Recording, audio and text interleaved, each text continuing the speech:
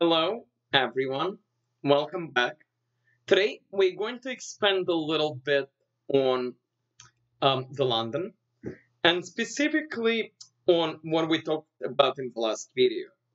Where after d4, d5, bishop f4, knight f6, um, if white goes for the setup with e3, c3, and knight d2, which is the setup I will probably recommend to those of you who don't want to memorize too much. On the high level, on the grandmaster level, they tend to play knight f3 a little bit earlier, but there is a little bit more memorization involved. So if you want to avoid it, you want to play, you want to play this setup: e3, c3, and then knight c2. And I will quickly remind you why I'm going to expand a little bit on this. So, um, e3, c5. Blind does not want to play e6 early, so if you're playing against the London, you want to keep an option open of playing bishop f5. Uh, so you do not want to play an early e6. So c5, c3, knight c6. Again, something we talked about. If white plays knight d2, uh, which is the main move, uh, white is absolutely okay. However, if he plays knight f3, this allows queen b6. Because the queen attacks this, it's not so easy to deal with it. And today I will actually, I will flip the board. I'm going to show you how to play this from black's point of view. Because a lot of your opponents will play the London against you. Uh, so again, white has several options. He doesn't really want to play b3 because it creates a lot of weaknesses on the queen side. This is something that I'll talk about later. So white will usually play queen c2 or queen b3. If white plays queen c2, we're going to play g6 and we'll play bishop f5. If white plays queen b3, we can do this. If they take, this is really good for us. Again, in a separate video, I'll show you some examples why this is good. We have an open line, we have this idea, and um, I will leave this for a different video. If he plays queen c2, this is the idea which I mentioned in the last video, which is bishop f5. We sacrifice the bishop, because if white takes, we take here, and we get the rook. So, takes, takes, and black is doing really well. So the game we'll look at white, which is the game between two grandmasters, um, um, which is the game between two grandmasters. We got to this position, and playing black in this game was Viktor Láznička, who is the second best player from Czech Republic. He used to be rated 2700 and we'll see how he played this. So obviously white does not want to take, he needs to keep defending the pawn. So in the game white played queen, c1, defend the pawn. And Láznička played knight h5. Why is he playing knight h5? Well, um, he wants to trade this knight for the bishop, but he also has another idea. He wants to play f6 and e5 and fight for the center. Okay, white dropped his bishop back, bishop g3, and we could take right away, but there is no rush. Because this bishop is not going to go anywhere. Ideally, we would like for him to castle first. Because if we take right now, and white takes back, he gets an open line. Um, so we're going to wait to take. Láznička played f6, prepare e5. Um, white played knight d2 because white wanted to develop. And now black plays e5. And at first it looks like e5 is a mistake because white has three attackers and black has only two defenders. But the point is we can get rid of this bishop whenever we want.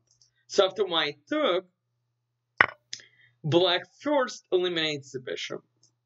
White, of course, takes with this pawn.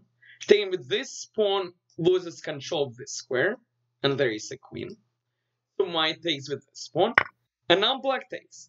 And black takes with the knight because now he wants to come to this outpost, which forces black, which, sorry, which forces white to take. takes, takes. And black's position is extremely pleasant. We have more space. We have two bishops. Life is really good. White thought that he had a very nice move here and played pawn e4.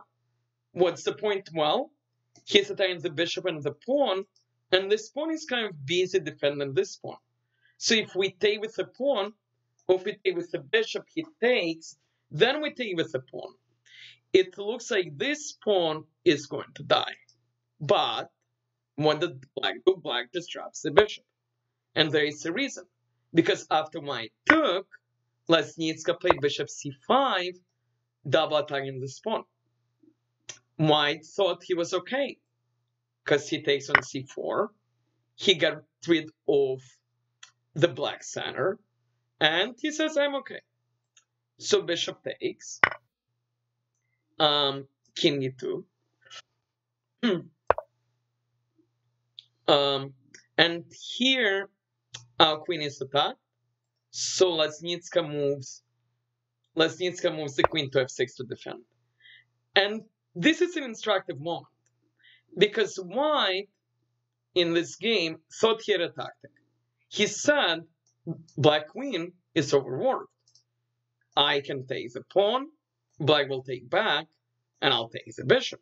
And life is good.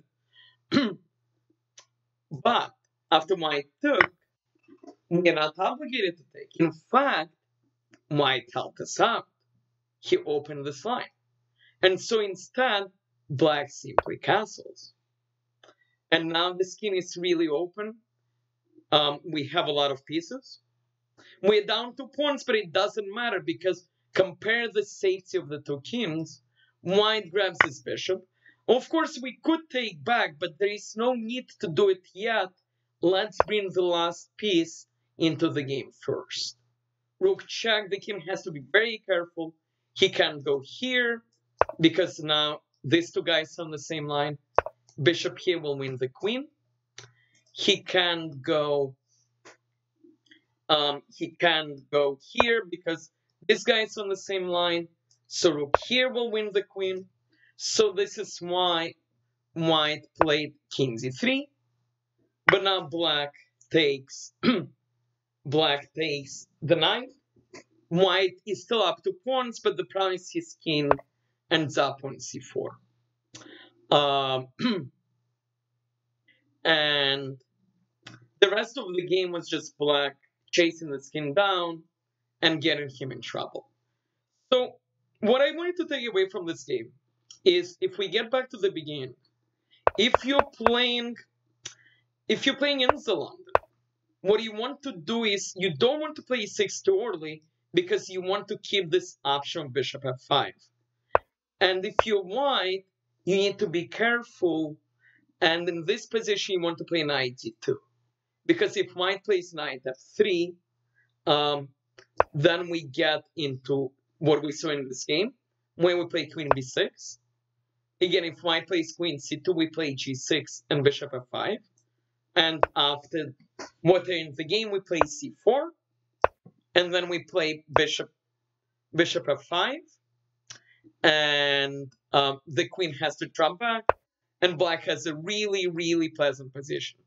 And again, if white takes, we take this pawn. Um, I hope you enjoyed this video. I hope you learned something. Please like, please subscribe, please comment, and I will be back soon. Thank you.